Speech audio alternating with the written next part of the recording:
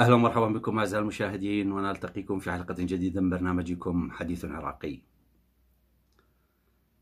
ربما في حديثي عن موضوع اليوم سأنطلق من مقولة لكاتب ومنظر أمريكي سياسي منظر اجتماعي وسياسي اللي هو نعوم شومسكي واحد من أشهر المنظرين الآن في أمريكا منذ سنوات عديدة والآن.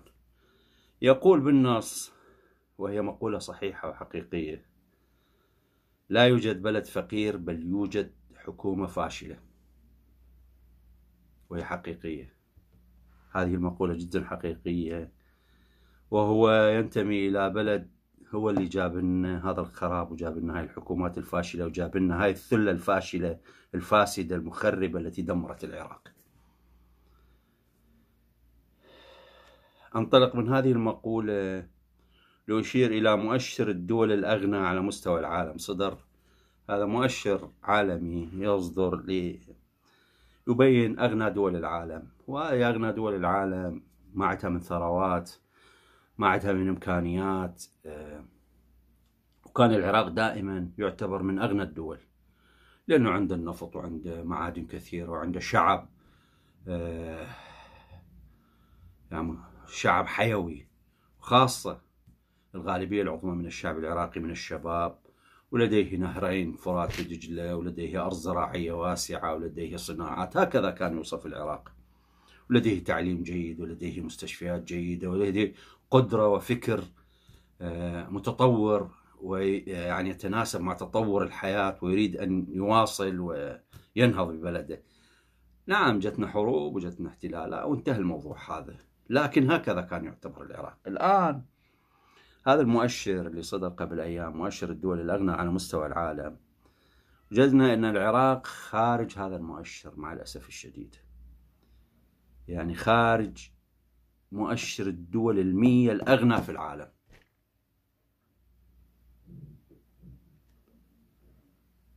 برغم كل الثروات التي يمتلكها. برغم أنه هو واحد من بين الدول الخمسة الأكثر تصديرا للنفط والأكثر ربما احتياطيات للنفط في العالم لكن واحد من البلدان الآن الفقيرة اللي تعتبر في خانة الدول الفقيرة.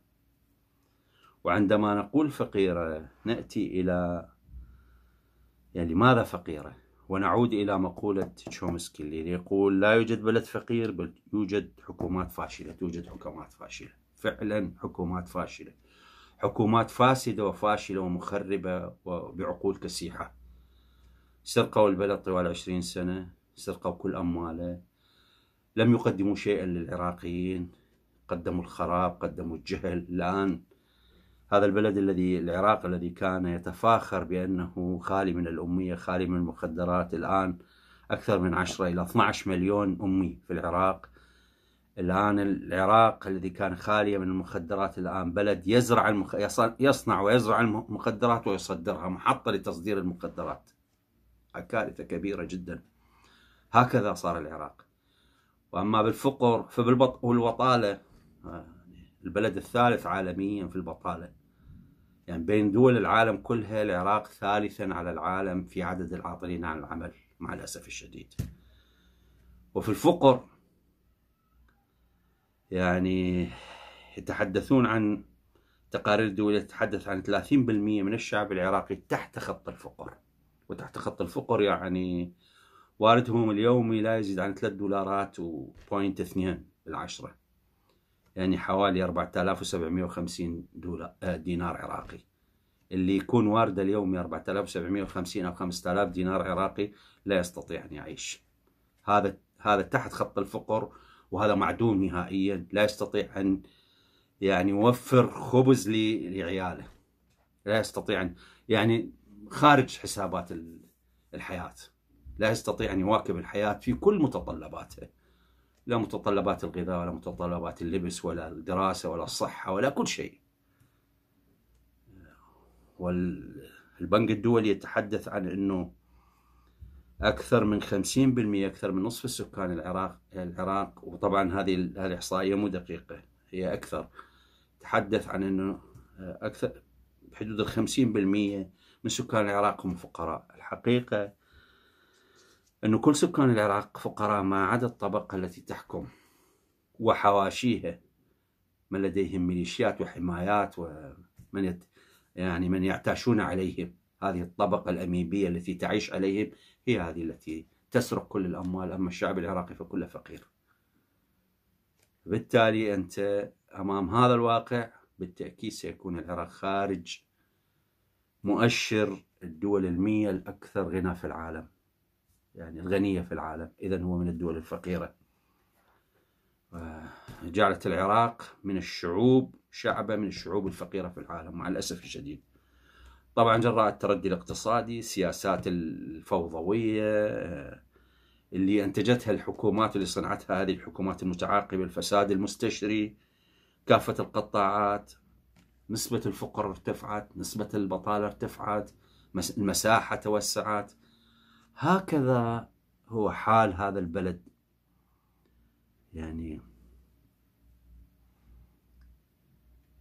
من من يريد أن يصف العراق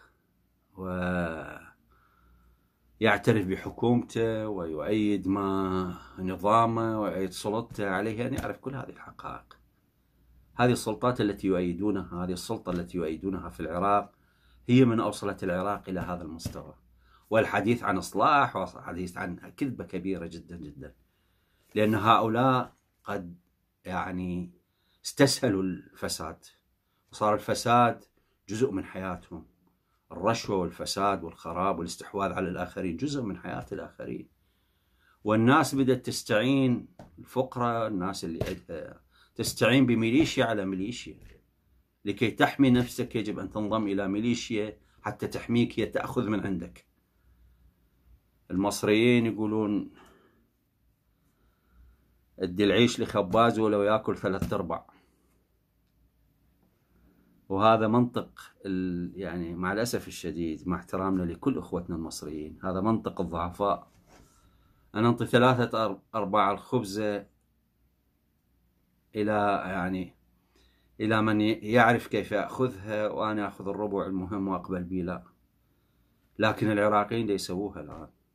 امواله كلها يعطي ثلاثة أرباعها وأكثر من ثلاثة أرباعها لميليشيا معينة لكي تحميه لكي تحميه ويبقى لديه أقل من الربع. لكي يعيش به وهذه كارثة كبيرة. الآن لا تستطيع أن تحمي نفسك إلا أن تكون تحت مظلة ميليشيا معينة. وبالتالي بلد ميليشيات هي التي تتصرف وهي التي أفقرت البلاد وجعلت العراق هذا الغني بثرواته بتصحر وفساد وخراب وزراعة راحت والصناعة راحت والتجارة راحت وتحول البلد إلى بلد مستهلك مستورد. والكل يبحث عن العمل وعاطلين عن العمل ومصيبة كبيرة جدا جدا. فبالتالي العراق خارج مؤشر الدول الأغنى في العالم. العراق خارج مؤشر الدول المئة الماء الأغنى في العالم. حقيقة. وهو كان من ضمنها وكان يشار إليه بالبنان. مع العلم أن العراق ما زال لديه من 60 إلى 65% من من القوى الشابة من الشعب ومن الشباب. ما زالت فيه ثروات كامنة ما زالت فيه قدرات ممكن إحيائها لكن الآن بفضل دولة الفاسدين المخربين الذي جاءوا وحكموا العراق وصل الحال إلى ما وصل إليه مع الأسف الشديد. وقت هذه الحلقة قد انتهى أعزائي المشاهدين أترككم بخير وألتقيكم في حلقة أخرى. لذلك الحين أستودعكم الله والسلام عليكم.